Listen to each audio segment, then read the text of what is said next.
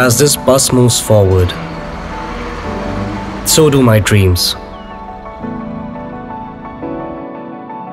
Every mile bringing me closer to who I'm meant to be.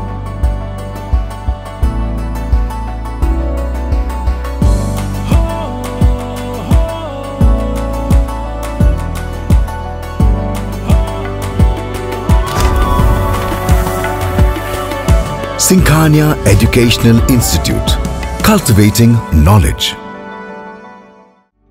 Refined oil और process जैसे unhealthy oils ने तो जैसे पूरे मार्केट पर कब्जा ही कर लिया है। मगर अब आप इसकी चिंता ना करें क्योंकि आ गया है वंश कोल्हू का प्योर सरसों कच्ची घानी ऑयल लकड़ी कोल्हू मेथड से तैयार ये है नेचुरल और हेल्दी भी।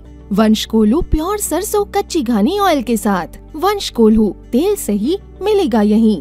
सीतापुर के रेउसा क्षेत्र में अज्जेपुर गाँव के पास एक खेत में उस समय ग्रामीणों का तांता लग गया, जब खेत में लगे जाल में एक विचित्र जानवर फंसा होने की सूचना गाँव वासियों को मिली। सुनहरे रंग वाले इस जीव को आप तस्वीर में देख सकते हैं। इसकी जानकारी होते ही ग्रामीणों की भीड़ खेत में जुट गई।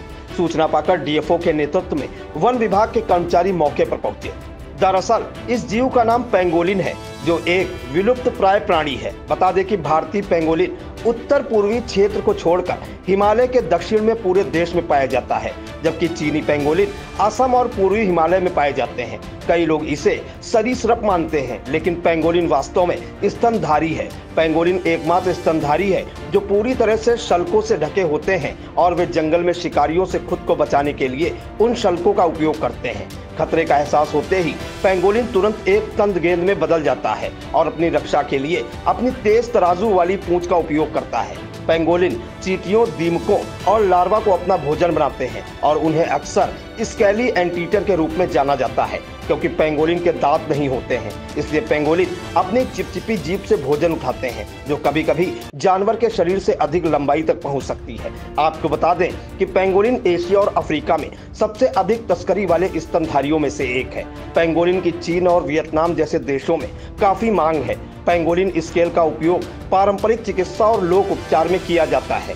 पेंगोलिन की सभी आठ प्रजातियाँ राष्ट्रीय और अंतर्राष्ट्रीय कानूनों के तहत संरक्षित हैं। लेकिन पेंगोलिन का अंतर्राष्ट्रीय अवैध व्यापार अभी भी बढ़ रहा है। फ़िलहाल, यूपी के सीतापुर में पाया गया विलुप्त प्राय प्राणी पेंगोलिन पूरी तरह से स्वस्थ है। वन विभाग की टीम ने विश्वा रेंज के डिप्टी रेंजर आदित्य सिंह के नेतृत्व में पेंगोलिन का चेकअप कराने के बाद उसे मिश्रिक रेंज के एक जंगल में छोड़ दिया है। डीएफओ सीतापुर नवीन खंडेलवाल ने आई इंडिया को बताया।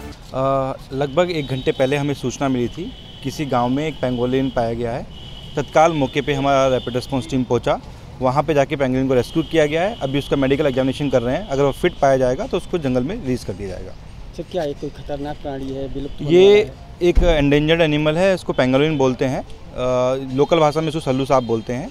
और इसका जो कंजर्वेशन है काफ़ी इंपॉर्टेंट है। इसलिए हम इसको जो अटमोस्ट केयर होती है वो दे जा रही है।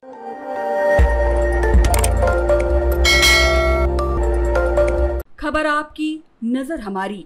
देखते रहिए आई इंडिया।